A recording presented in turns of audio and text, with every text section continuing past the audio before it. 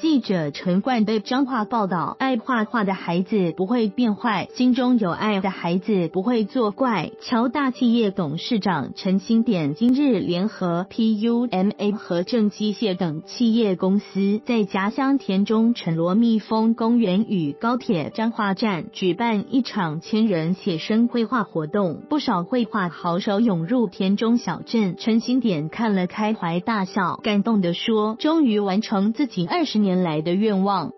彰化田中今日在高铁彰化站及陈罗蜜蜂生态纪念公园举办礼赞田中音乐交响曲千人写生绘画活动，参赛组别从幼儿园组到成人组共六组，报名人数超过一千两百人，是田中地区近年最大型的写生活动。彰化县副县长陈善报、田中镇长谢文贤、高铁董事长江耀宗、台北市政府官船局长简于燕等人。与会，陈新典表示，常年旅外经商，发现日本、欧洲等先进国家对孩童的艺术教育相当用心。如果从小学习绘画，对于事物的认知可以更有自主性，对社会更有爱，培养正确的心灵价值。而且举办活动，家长们也会一起陪同，也能增进亲子关系。认为进步的国家就是应该多举办写生比赛。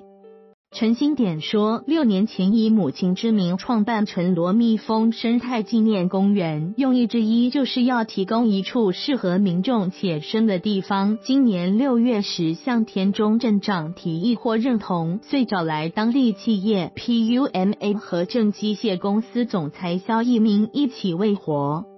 用赞助，肖一鸣说：“爱画画的孩子不会变坏，心中有爱的孩子不会作怪。这次有上千人来完成好友愿望，相挺很值得。”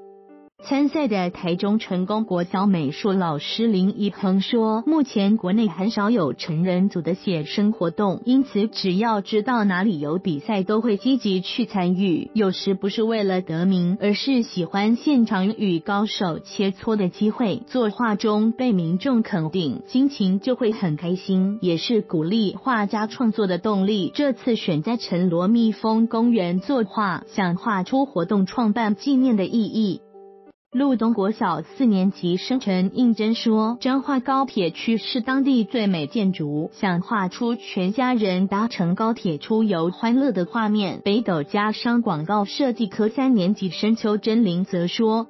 趁放假与同学来参赛，也希望累积得名成绩，增加升学加分实力。”